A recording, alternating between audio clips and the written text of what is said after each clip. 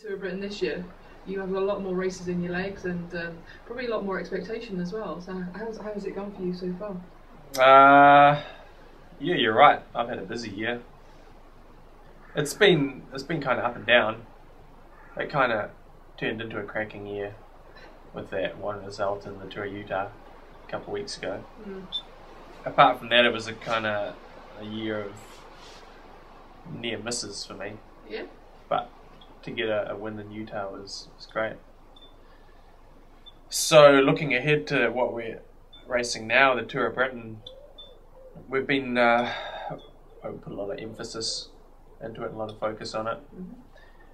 and especially our, our big trip to Utah, we were racing at altitude for the first time for the, for many of us. So it's quite a new experience, and we were. Well, I personally saw it as a really good opportunity to train for this Mm. this race here.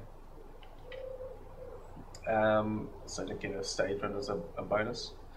And here we are now, the Tour of Britain. It's been a, a strange week.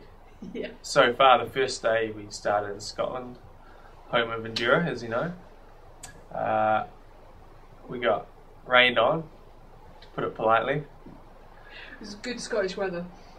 That was bad Scottish weather. it was bad Scottish weather.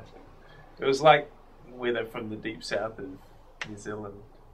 So, so you should be used to it then, really. Well, I kind of am. And uh, there's no way we would have cancelled that stage yesterday if that was back home. Oh, really? What, even with the hurricane sort of like and the waves crashing over Blackpool um, seafront? Do you fancy you fancy your chances riding in that? No, I was I was really happy that they did cancel it, and we all were. But you reckon at home they wouldn't have cancelled it? No, no, for sure not. Yeah.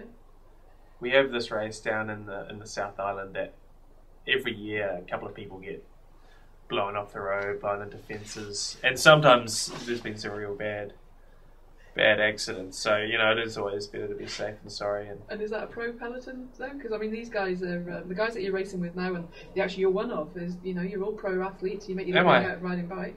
yeah, well, you make your living out of doing this, don't you? that's right. So of That's course right. you don't really want to find yourself sort of like mullered into a fence or No, overboard. no, of course you always want to um, be thinking of your of your personal safety, and then the next couple of months and what's coming up your season, and uh, yeah, an accident can put you back.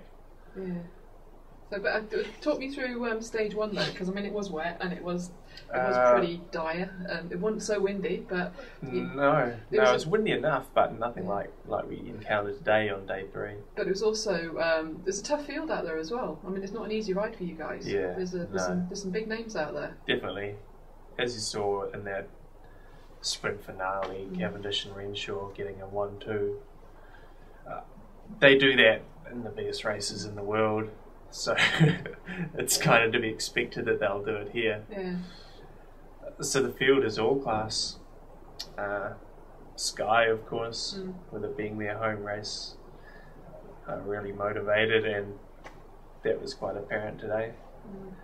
They put the hammer down, and for us as a team, it was a bit of a well, not not such a, a good day because only Iker made it into that that split. Yeah, you you punctured today though, didn't you? Bottom of the hill. Which I did, but that didn't affect me. I got a wheel off wet all. Uh, I, to be honest, the legs were just not there. really. Whether that's a case of riding in a whole lot of rain and and cold on that first day, which which did give us all a bit of a shock. I've just come from Girona. It's 35 degrees, and I think it was about five in Scotland. Uh, then the stage yesterday was cancelled. I'm not making any excuses, but it, it, it does kind of it gets you out of a rhythm. It, all of a sudden, you're not thinking about racing your bike as we were yesterday. We're thinking about oh, nice warm hotel room, a big suite, bathrobe, the works. So that's that's what we did yesterday, and we did get out on the bikes and had a bit of a, a spin. But today, I just yeah.